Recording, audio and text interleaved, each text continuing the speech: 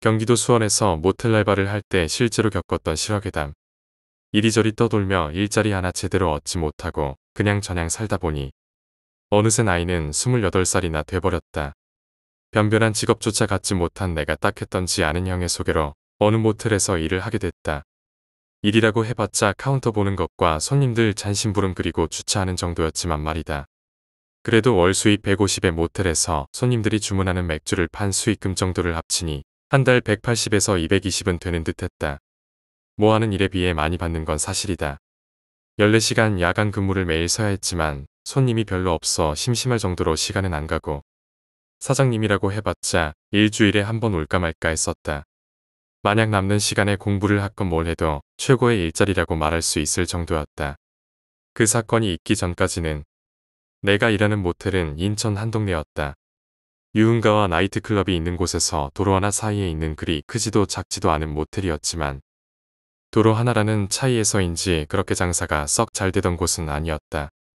술 취한 사람들이 유흥가 술집이나 나이트 문 앞을 나서면 바로 보이는 곳이 모텔 거리였는데 도로 하나까지 건너면서 울 필요는 없을 테니 말이다. 늘 지루한 일상을 보내던 내게 이 모텔은 솔직히 말해서 따분했다.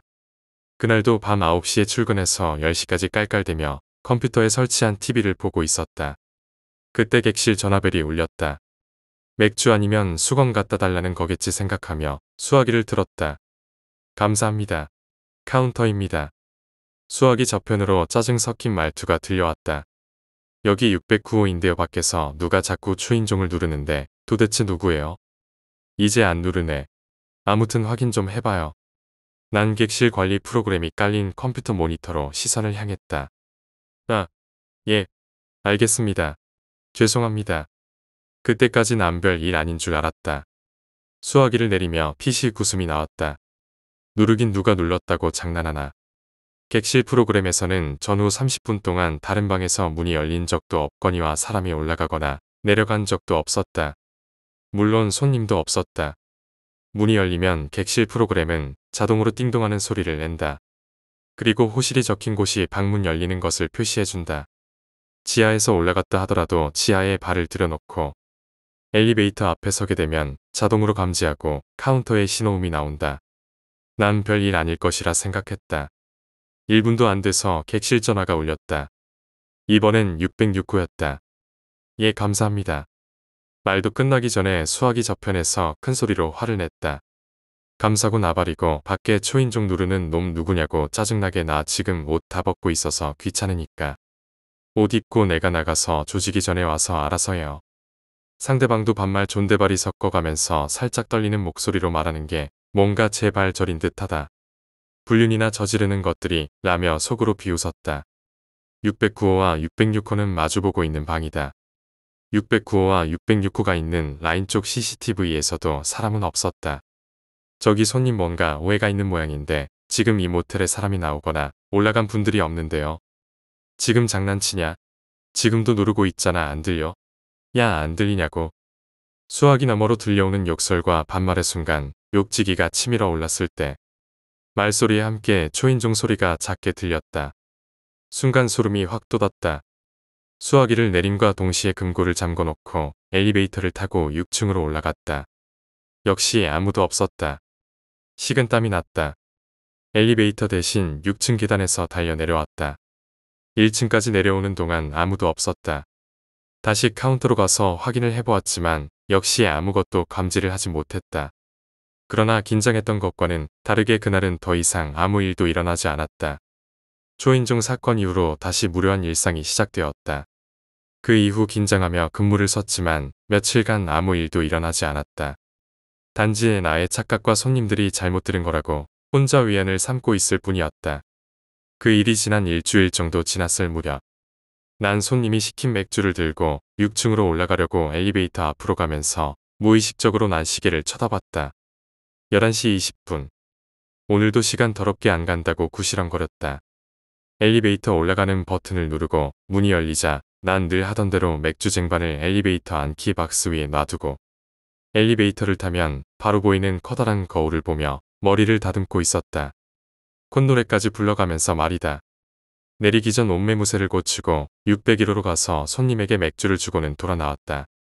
엘리베이터 내림 버튼을 누르고 문이 열리자 난 내려가기 위해 1층을 누르고 문이 닫히길 기다렸다. 엘리베이터 문이 절반쯤 닫혔을 때 갑자기 덜컹하는 소리와 함께 문이 다시 열렸다. 내가 올라가는 버튼까지 같이 눌렀나? 라는 생각을 하는 찰나등 뒤로 소름이 돋았다. 뒤를 돌아볼 수가 없었다. 분명 아무도 없다는 걸 알고는 있었지만 등 뒤에 커다란 거울을 볼 자신이 없었다. 식은땀이 나기 시작했다. 난 괜찮다. 애써 진정을 시키며 문 위에 층수 번호만 뚫어지게 쳐다봤다. 갑자기 딩동 소리와 함께 문이 열리기 시작했다. 스르르 열리는 엘리베이터가 그날따라 괴기스럽게 느껴졌다. 문 열린 3층 복도는 언제나처럼 어두웠고 별다른 점을 볼 수가 없었다. 분명히 난 그렇게 생각하려고 했다. 그래. 3층 손님이 나가려고 눌렀는데 다른 엘리베이터를 탄 거야. 그런 거야. 등 뒤로 식은땀이 줄줄 흐르는 것을 느꼈다. 문이 닫히고 1층까지 어떻게 내려왔는지도 모를 만큼 엘리베이터는 천천히 내려가고 있었다. 1층에서 문이 열리자 난 곧바로 카운터로 달려갔고 난 그대로 쓰러져 버렸다. 얼마쯤 시간이 지났을까? 쿵쿵거리는 소리에 눈을 떴을 때 누군가가 손으로 카운터를 두들기고 있었다. 아저씨 장사 안 해요? 피곤하신가 보네 얼마예요? 순간 시계를 쳐다봤다. 11시 35분. 몇 시간은 지났음직한 순간이 불과 15분 정도밖에 안 되는 시간이었다니 손님에게 돈을 받고 객실키를 주었다. 그 남자 손님은 나를 이상하다는 듯이 쳐다보고 엘리베이터 안으로 사라졌다. 그날과 마찬가지로 엘리베이터가 저 혼자 열리고 3층에서 문이 열렸을 때 3층과 6층 안이 모텔 전 객실에서 나온 방은 없었다. 외출방 또한 없었다. 그리고 내가 기절하기 전 생각났던 건 내가 올라가거나 내려가는 버튼을 두 개 다 누르면 엘리베이터는 전부 닫혔다가 다시 열렸지 중간에서 다시 열리지는 않는다는 거였다. 며칠 전에 초인종 사건과 방금 겪은 엘리베이터에서의 일. 연관이 된다면 그리고 그걸 사람이라고 가정한다면 609호와 606호를 차례대로 누른 그 사람은 며칠을 숨어 있다가 아니면 며칠 간격을 두고 다시 와서 엘리베이터 6층에서 내가 타고 뒤따라 탄 다음 3층에서 내렸다는 일이 된다. 그러나 난 6층에서 엘리베이터를 탔을 때 사람은커녕 그림자 하나 보질 못했다. 그러나 사람이 아닌 그 무엇이라면 귀신이라고 생각한다면 6층에서 장난친 그 귀신은 나와 함께 엘리베이터를 타고 3층으로 갔다는 소리다. 자꾸 객실 프로그램에서 3층 객실과 복도에 설치된 CCTV 화면으로 눈길이 갔다. 담배 한 대를 물고 자판기에서 커피 한 잔을 뽑으며 나도 모르게 마른 침이 계속 나왔다. 카운터로 돌아가야 했지만 난 이대로 밖으로 뛰쳐나가고 싶었다. 난 귀신이란 존재를 믿지 않았다. 어렸을 때부터 촌에서 살았고 이곳저곳 떠돌면서 이상한 체험들도 했었지만 이런 일 두 번에 겁먹고 기절까지 해버릴 상황이 올 줄은 몰랐다. 그렇다고 내가 간이 작은 건 아니다라고 해봤자 우습지만 어릴 때는 흉가나 공동묘지에 찾아가 친구들과 담력 시험이라는 우습지 않은 것도 해봤지만 그때는 분명 모든 상황을 알고 예측하고 갔던 일이었다. 귀신은 없다는 전제하의 말이다. 그러나 지금 일어나는 일은 귀신이라는 말 외에는 설명할 수가 없다. 자판기 앞에서 머뭇거리고 있을 때 객실에서 전화가 걸려왔다. 어쩔 수 없이 카운터로 돌아가 전화를 받았다. 맥주 주문이다. 왜 하필 309호를 손님한테 줬을까? 불안한 마음을 감추기 위해 난 욕지기를 했다. 방금 열렸다 닫힌 엘리베이터 앞 보이던 3층이 눈에 선했다. 어두컴컴한 복도가 눈앞에 드러났다. 맥주를 들고 엘리베이터를 탔다. 거울 따윈 보고 싶지 않았다. 어서 가져다 주고 내려가고 싶은 마음밖엔 들지 않았다. 아무 일도 일어나지 않는다며 애써 불안한 마음을 감추려 했다. 딩동 소리와 함께 3층에 멈춰선 엘리베이터에서 내린 후 난 급히 309호 초인종을 눌렀다. 손님이 나오고 맥주를 건네받고 맥주값 만원을 받은 후 난 황급히 내려왔다. 분명 아무 일도 없었다. 카운터로 돌아온 나는 머리털이 쭈뼛서는 동시에 눈이 커질 수밖에 없었다. 객실 프로그램에 객실 문이 열리면 문 열린 시간과 호실이 따로 체크되어 나온다. 내가 309호 문을 연 시간 바로 밑에 306호 문이 열렸다고 표시가 되어 있었다. 바로 같은 시각 같은 분에 그날 306호에는 손님을 받지 않았다. 306호를 뚫어져라 쳐다보고 있던 난 309호에 올라갔을 때를 생각해 보았다. 분명 맥주를 주고 돌아 나올 때만 해도 아무 일도 없었다. 아니 난 머리털까지 세워가며 신경을 곤두세우며 갔었다. 뒤에서 누가 쳐다본다거나 문 열린다는 낌새초자 없었다. 난 분명 아무 느낌도 없었다. 엘리베이터를 타고 내려왔을 때도 그때처럼 황당한 일은 일어나지 않았다. 아무리 우연이라고 내 자신을 설득하려고 해도 납득할 수 있는 일이 없었다. 담배를 입에 물었다 뺐다 하면서 난 객실 관리 프로그램만 쳐다보았다. 사호실을 제외하고는 11호실까지 10개의 객실, 7층의 사호실을 제외한 스위트룸 8호 9호를 합친 8개의 객실까지 하나하나 쳐다보았다. 7층은 토요일을 제외하고는 손님을 받지 않는다. 지금 손님이 있는 룸은 8개밖에 없다. 일요일 밤. 평소 같았으면 장사가 왜 이렇게 안 되냐며 푸념이라도 늘어놓고 스타나 하겠건만.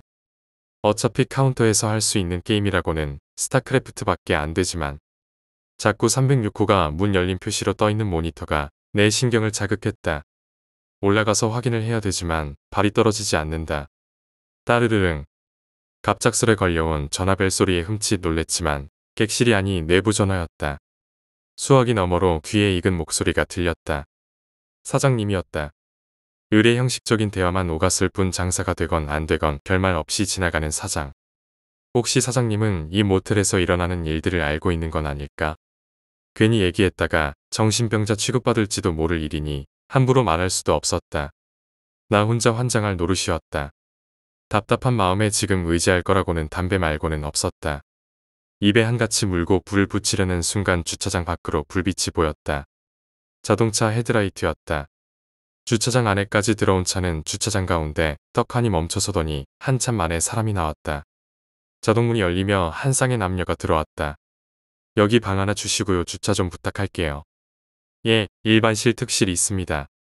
일반실로 하나 주시고요. 차 키는 여기 있어요.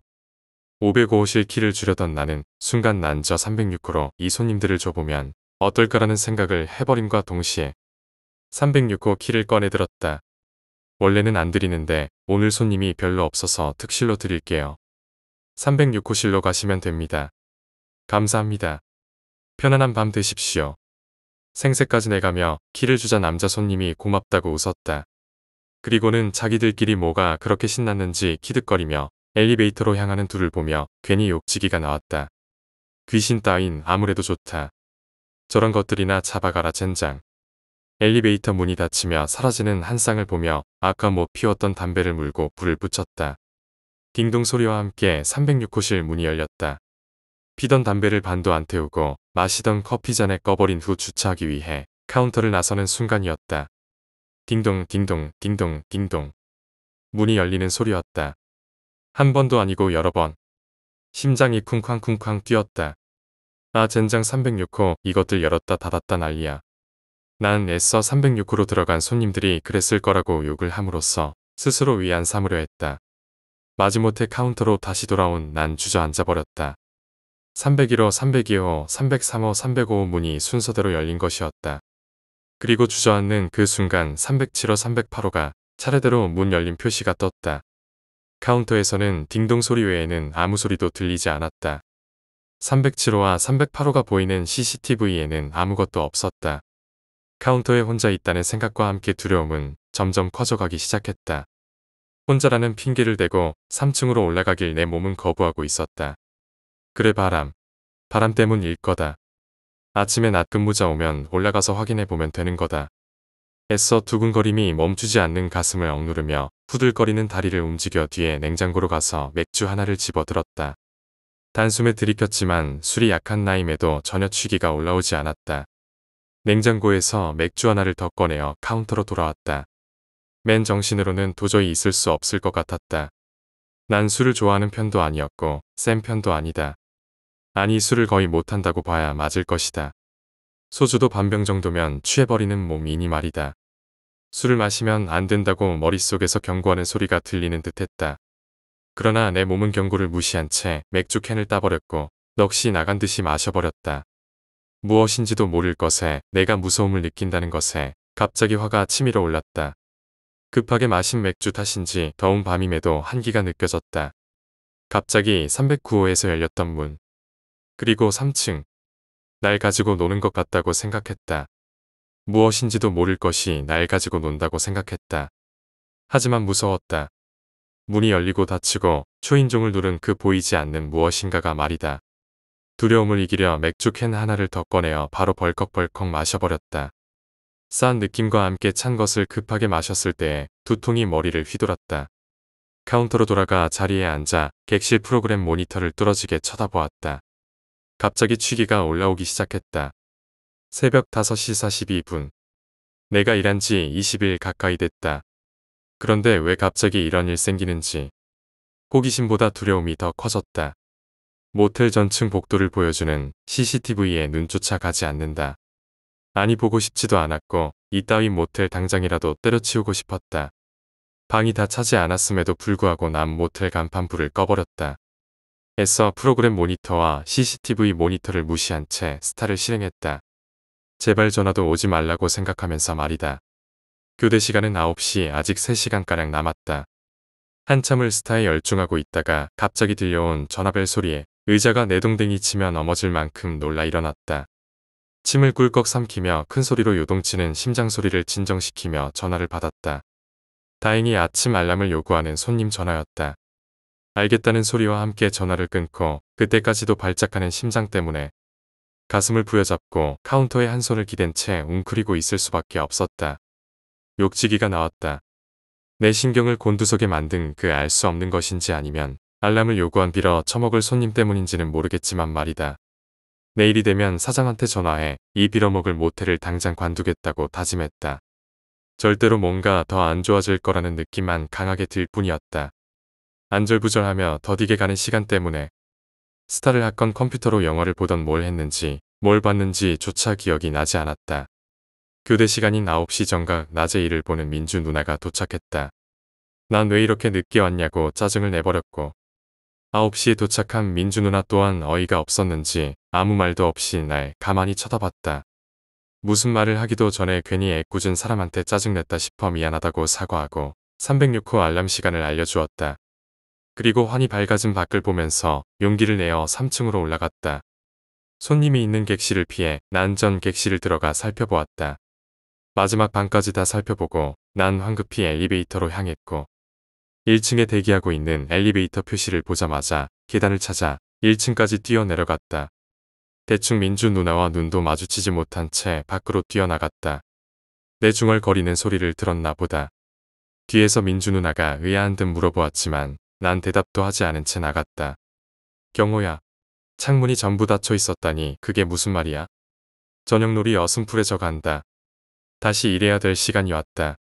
낮 동안 잠을 못 자 벌겋게 충혈된 두 눈이 거울에 비춰졌다. 오만 가지 생각이 다 든다. 오늘은 또 어떤 일이 일어날까? 두려운 마음에 발걸음마저 무거워지고 천천히 발걸음을 옮겼지만 어느새 모텔은 금방 가까워졌다.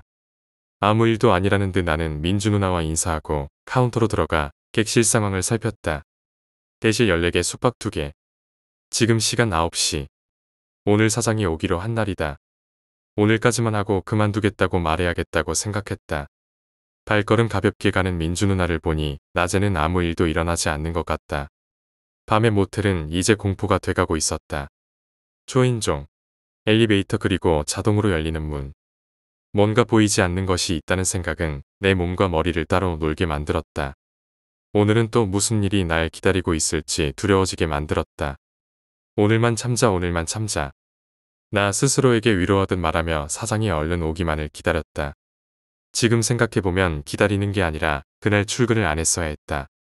아니면 사장에게 전화를 걸든지 했어야 했다. 손님마저 오지 않은 지 2시간여 정도가 지났다.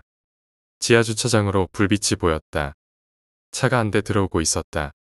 술에 취한 듯 비틀거리는 여자를 반쯤 걸머지듯 한 남자가 엘리베이터로 비틀대며 오고 있었다. 엘리베이터 문이 열리고 타는 모습이 CCTV 화면에 잡히면서 난 멍하니 손님 맞을 준비를 했다. 지하에서 남녀 두 명이 타고 엘리베이터가 닫힐 무렵 다른 한 여자가 다급하게 타는 모습이 보였다. 엘리베이터 문이 열리고 카운터로 다가오는 남녀 한 쌍이 보였다. 여자는 술이 많이 취한 듯 눈을 감고 몸을 흐느적대며 남자 몸에 기대어 있었고 남자는 여자를 걸치듯이 하고 오고 있었다. 힘이 많이 드는 듯 여자를 바로 고쳐 잡으며 객실 키를 달라고 요구했다. 키 대신 난 손님에게 엘리베이터를 가리키며 물었다. 뒤에 타신 여자 손님은 일행인가요? 남자 손님의 황당해하는 표정이 보였다. 아니 아까 두 분 엘리베이터 타시고 문 닫히기 전에 바로 뒤따라 타신 분 일행 아니시냐고요. 내 말에 그 남자는 엘리베이터를 뒤돌아봤다가 다시 나를 쳐다보는 얼굴에 아까보다도 더 황당하다는 듯 탄 표정과 짜증난다는 표정이 스쳤다. 아저씨 별로 안 무서우니까 그런 농담하지 말고 키나 줘요. 난 대답 대신 엘리베이터로 갔다. 여자가 무거웠던지 카운터 앞쪽에 있던 의자에 여자를 앉히고 그 남자 손님은 뭐라고 구시렁거렸다. 1층에 있는 그 손님들이 타고 온 엘리베이터를 쳐다봤다. 부들부들 떨리는 손으로 문 열린 버튼을 눌렀다. 스르르 띵 하는 소리와 함께 열리는 문. 엘리베이터 안에는 아무도 없었다. 멍한 눈으로 난 다시 카운터로 돌아갔다. 정신병자 같은 놈이냐는 듯 한 눈빛에 남자의 눈길이 느껴졌다. 죄송합니다. 지하 CCTV가 잘못됐나 보네요. 4만원입니다. 건네주는 키를 내미는데도 받지 않고 내 얼굴을 빤히 쳐다보던 그 사내는 뻗어있는 여자 때문인지 어쩔 수 없다는 듯 빼앗듯이 건네받고는 지갑에서 4만원을 꺼내 카운터로 던지듯이 올려놓았다. 그러고는 이내 의자에서 아무렇게 뻗어있는 여자를 추슬러 엘리베이터로 힘들게 사라졌다. 엘리베이터가 올라감과 동시에 내 몸은 아래로 내려갔다. 무너지듯 땅속으로 빨려 들어가듯 난 그렇게 주저앉아 버렸다. 두려움에 온몸이 떨리기 시작했다. 왜 나에게만 보이는지, 왜 나에게만 이런 일이 일어나는지 이해할 수가 없었다. 같은 상황 속에서 왜 나만 귀신이라고 느끼고 왜 나만 정신병자처럼 돼야 하는지 억울하고 분하고 무서웠다. 어떻게 서서 의자에 앉았는지조차 모르게 난 제 정신이 아니었다. 12시에 온다던 사장은 12시 30분이 지나도 오지를 않았다. 사장이 나타난 건 1시가 다 돼서였다.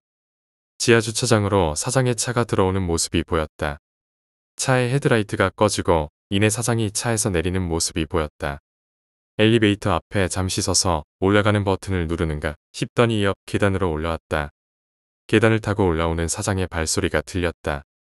그것과 동시에 사장차에서 나오는 한 여자가 보이고 방금 사장이 눌러놓은 엘리베이터에 잠시 서 있다가 타는 모습이 보였다.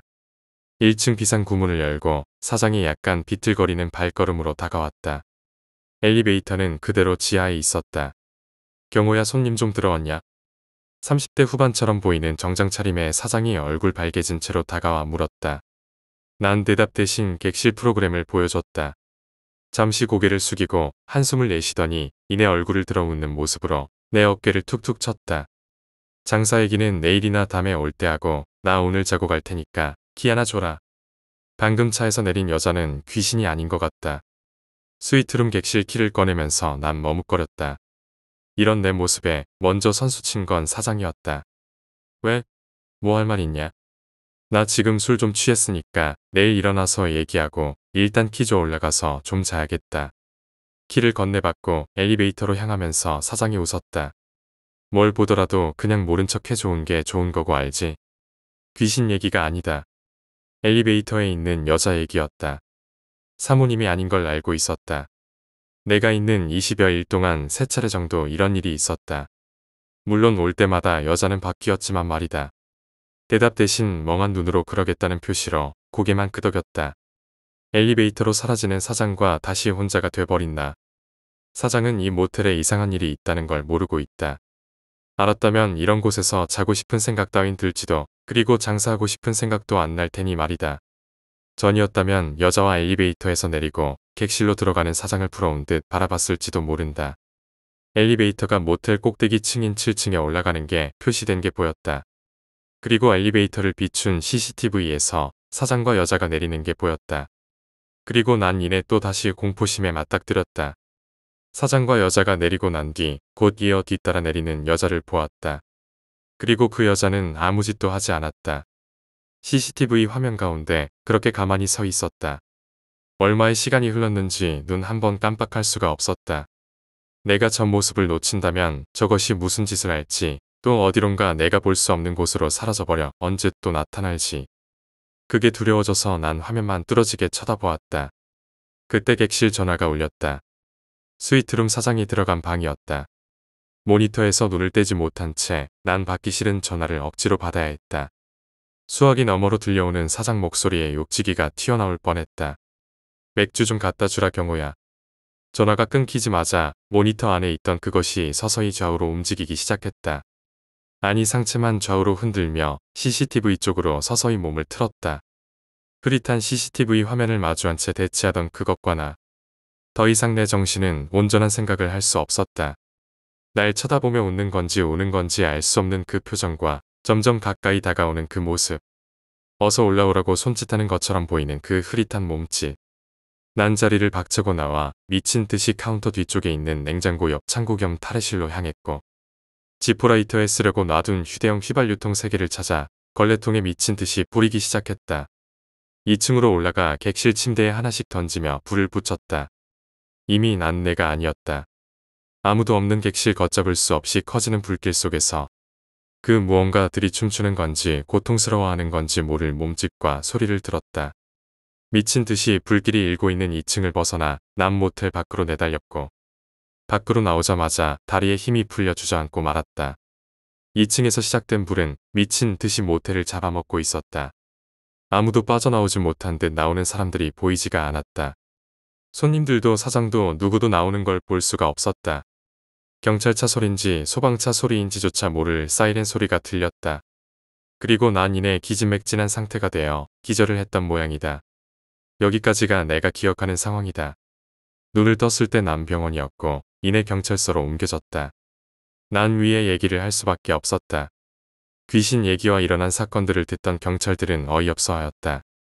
약간은 어두운 경찰서 취조실. 그리고 낡은 책상 사이에 나와 내 앞에 경찰. 담배 한 대를 권하고 내가 받아들자 그도 역시 담배를 꺼내 입에 물었다. 며칠 동안 이곳에 있었는지조차 몇 번을 같은 얘기를 했는지조차 기억이 나지 않는다. 날 취조하던 경찰이 말을 했다. 그곳은 빈 건물이야. 아무도 없었다고. 내가 말한 사장 손님 여자. 건물 어디에도 사람 흔적은 없었어. 너 진짜 거기 얼마 동안 있었고 불은 왜 지른 거냐? 두려움에 떨던 난 갑자기 나에게 모텔을 소개시켜준 형이 떠올랐고 경찰에게 형의 전화번호를 알려줬다. 그 경찰은 지친 듯 그런 나를 놔두고 나가버렸다. 얼마 후 다시 돌아온 형사는 꽤나 열받은 표정이었다. 야, 내가 준 전화번호 없는 전화번호잖아. 1년 동안 개통도 안 했던 번호였다는데 이 새끼 이거 완전 정신병자 아냐. 노발대발하는 그 형사의 말에 난 정신이 아득해짐을 느꼈다. 결국 난 방어범이 돼버렸고 구치소로 향했다. 구치소에서 남 모텔에 관한 얘기는커녕 그 비슷한 이야기도 하지 않았다. 모범수로 풀려나기까지 4년 8개월이 걸렸다.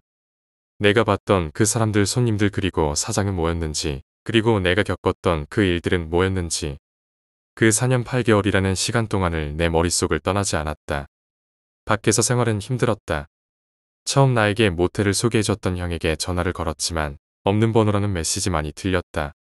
부산으로 옮겼고 배를 탔다. 1년이라는 시간이 더 흐르고 나서 두려움도 많이 사라졌다. 다시 인천 그곳을 찾기로 마음먹고 애써 마음을 다잡으며 배에서 내리자마자 기차를 타고 올라갔다. 전에 일하던 곳이 가까워질수록 심장은 터질 듯이 쿵쾅거렸다. 지금은 낮이다. 아직 저녁이 되려면 아직 한참이나 남았다며 스스로 다독였다. 다시 찾은 그곳은 변한 것은 거의 없는 듯 보였다. 그 모텔만 내가 있었을 때의 모습이 아니라 더 높고 더 깨끗한 모습으로 날 반겼다. 주인이 나타나 새로 지었나 보다. 약간의 이질감과 밝은 톤의 페인트칠을 한 새로 지은 모텔을 보니 안도감이 들었다. 조금 있으면 어두워질 것이다. 난 그 당시 내가 봤던 게 단지 환상이었고 내 스스로 만들어낸 공포라고 생각하고 싶었다. 이 두려움을 떨쳐야 내가 나로서 그리고 나 스스로 설 수 있을 거라고 생각하고 이곳을 다시 찾았다. 이제 밤이 되고 어두워진 밤에 모텔을 보고 다시 내려간다면 내 마음이 후련해질 거야. 라고 생각하며 근처 포장마차에서 소주 한 잔을 마시고 있었다. 맨 정신으로 보기가 힘들었는지도 모른다. 포장마차 주인과 이런저런 얘기를 하면서도 내 마음은 저 모텔에 있었다. 어느새 달이 떠오르고 내 앞에 소주병이 3개 정도 널렸을 때 자리에서 일어났다. 비틀거리는 발걸음으로 계산을 하고 나와 그 모텔을 쳐다봤다. 모텔 한가운데쯤 창문이 열렸는지 커튼이 흩날리는 게 보였다. 한기가 들었다. 술 기운 탓이려니 생각하고 고개를 돌리고 아무 일도 일어나지 않는 모텔을 바라보는 순간 흩날리는 커튼 사이로 뭔가 비죽비죽 움직이는 게 보였다. 몸을 돌리고 싶었지만 내 몸은 그대로 얼어버린 듯 눈조차 마음대로 움직일 수가 없었다. 그 비죽비죽 움직이던 것은 예전 모텔에 있을 때 CCTV 화면 속에 그것처럼 내 눈앞에 있었다. 한참을 땀을 삐질삐질 흘리며 서 있었던 것 같았다. 누군가 날 툭툭 치는 느낌에 고개를 들었다. 벌건 대낮이었다. 난 언제부터였는지 길거리에 누워 있었다. 날 깨운 청소부는 쯧쯧 혀를 차고는 이내 돌아갔다. 이내 정신을 차린 나는 불이 나게 택시를 잡아타고 기차역으로 향했다. 그리고 몇 년을 악몽과 싸워야 했는지 모를 시간을 보내야 했다. 그 무엇인가가 날 괴롭힌다는 생각에 견딜 수가 없었고 하루하루 술에 의지하며 배를 탔다. 다시 더 몇 년이 지났는지도 모를 그때도 난 배를 타고 있었고 하루 일이 끝나 배에 타고 있던 사람들이 모여 술자리를 벌이고 있었다. 배 타던 사람들이 배 안에서 할 게 없으니 이 이야기 저 이야기 하다가 자기가 알고 있는 무서운 이야기라는 주제가 흘러나왔다. 그 배에 탄 지 얼마 안 된 사람의 이야기였다. 예전 자기 살던 동네가 유흥가였는데 거기서 살인사건이 크게 일어났었다는 이야기였다. 모텔 사장이 불륜녀와 매번 그 모텔로 가서 잔다는 것을 안 사장 와이프가 지하 주차장에 있다가 사장이랑 불륜녀가 올라가는 걸 보고 분에 못 이겨 불륜을 알면서도 묵인해준 야간 직원들을 칼로 죽이고 객실 예비키로 모텔에 있는 객실이란 객실은 다 열어서 그 안에 있는 사람들을 다 죽여버렸어. 그나마 손님이 없어서 희생자는 10명 미만이었다고는 했지만 결국에는 그 사장과 불륜녀마저 죽이고 그 와이프마저 자살했다고 하더라. 주인이 없어진 그 건물이 빈 상태로 방치되었었는데 몇 달 뒤에 어떤 정신병자가 그 모텔에 20여일을 묵다가 모텔에 불을 지르고 경찰에 잡혔다지. 그 이후로 그 모텔이 2년 정도 불이 났던 상태로 방치되다가 어떤 사람이 건물을 허물고 새로 모텔을 올렸는데 처음 일했던 야간 직원이 7층에서 뛰어내렸어. 뭐 귀신을 봤다나 홀렸다나. 그 이후로 새로 들어오는 야간 직원들마다 한 달을 못 넘기고 나가더란다. 뭐 귀신이 CCTV 화면에서 자리를 째려본다나. 그 사내는 기분 나쁜 웃음을 지으며 나를 연신 쳐다봤다. 난 또 다시 공포에 휩싸여 멍하니 그 사내를 쳐다봤다. 나에게 그 모텔을 소개해줬던 형이었다.